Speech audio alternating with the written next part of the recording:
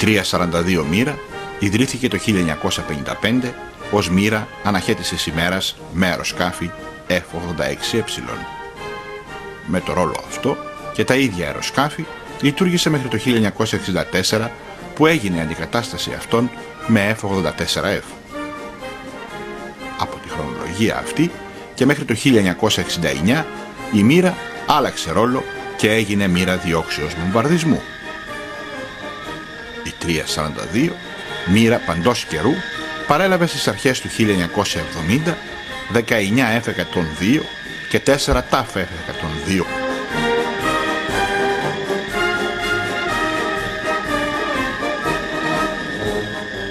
Πρόκειται για ένα μαχητικό, αναχαιτιστικό, δελταπτέρυγο αεροσκάφος εξοπλισμένο με πρωτοποριακά συστήματα για την εποχή του. Παραδείγματος χάρη, το ραντάρ τύπου MG-10 επέτρεπε στον πιλότο να καθοδηγήσει αυτόνομα το αεροσκάφος προς το στόχο, φτάνοντας σε παραμέτρους βολής των κατευθυνόμενων πυράβλων AIM-4 Falcon. Ο μόνιμος οπλισμός του αεροσκάφους αποτελούνταν από έξι πυράβλους αέρος-αέρος φερόμενους εσωτερικά, με υπέρυθρη καθοδήγηση και μη κατευθυνόμενα βλήματα αέρος-αέρος. Το F-102 δεν έφερε πυροβόλο, όπως συνηθιζόταν για τα μαχητικά της εποχής. Παρά αυτές τις δυνατότητές του, δεν προσαρμόστηκε καλά στις απαιτήσεις στους ουρανούς του Αιγαίου.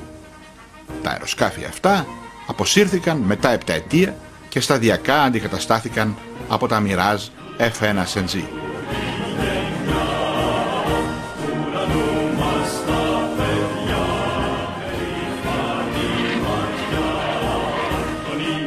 οι άγνωστες πτυχές της εκπαίδευσης των εκταμένων που επιλέχθηκαν να τα επανδρώσουν, οι ανταλλαγές μοιρών σε Τουρκία και άλλες χώρες, οι άγνωστες αναχαιτήσεις στο Αιγαίο, στην πιο δύσκολη στιγμή της ελληνικής μεταπολεμικής ιστορίας, μαζί με την κάλυψη από αέρος των αεροσκαφών Νοράτλας της αποστολής Νίκης στην Κύπρο, αλλά και η απόσυρση του τύπου είναι μερικά από τα επιτεύγματα του δελταπτέρυγου στιλέτου, που με το δικό του τρόπο φύλαξε και αυτό θερμοπύλες σαν σύγχρονος Λεωνίδας.